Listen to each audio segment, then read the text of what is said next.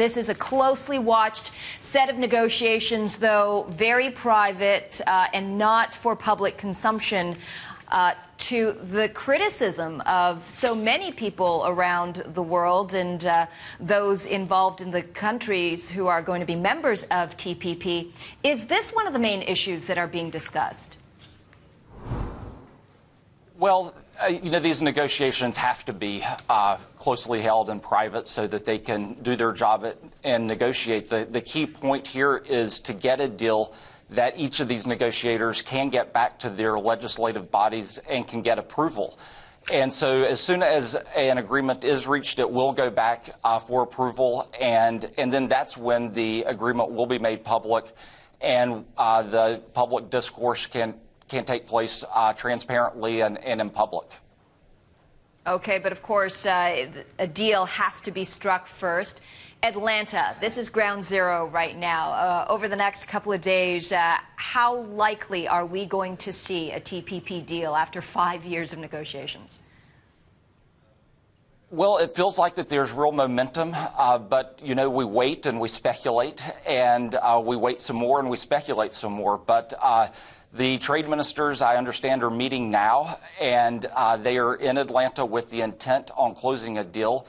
There are three or four issues that are very tough, uh, but there does feel like that there's momentum, and I'm a little greater than 50-50 uh, percent chance that we'll get a, a see an agreement out of out of Atlanta this week. Well, Jackson, you're a chairman of Asia Pacific Council for the American Chambers of Commerce. There's a lot of upside, but there's a lot of details that need to be hashed out. It looks like there could be one in the auto uh, issue. 45% of the entire vehicle must originate uh, to get that uh, TPP tariff uh, exclusion. It looks like uh, they're close to agreeing on that rule. Um, how significant is that for countries like Japan, where their supply chain uh, extends outside of Japan? Well, a couple points on auto rule of origins. Uh, we learned in Maui at the end of uh, July that this was a major sticking point, uh, especially between Japan and Mexico and uh, Canada. Uh, the fact that they are reaching an agreement at 45%, I think, is significant. Uh, it's down from the 60% threshold under NAFTA but it's certainly higher than the original 30% uh, rule of origin that Japan uh, had had proposed. So what you see is uh, that that is a spirit of compromise and negotiation, which is exactly what's happening right now and what we want to see coming out of Atlanta.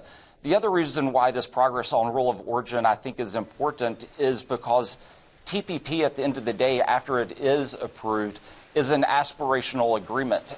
And uh, which means that it's open for other countries to join. And if you set those thresholds on auto parts too low, what's the incentive on uh, countries like Thailand for joining down, down the road in, in the future? So I think that a nice compromise around 45%, if that's what uh, comes out of the negotiations, uh, then it's, it's should be healthy for the agreement overall.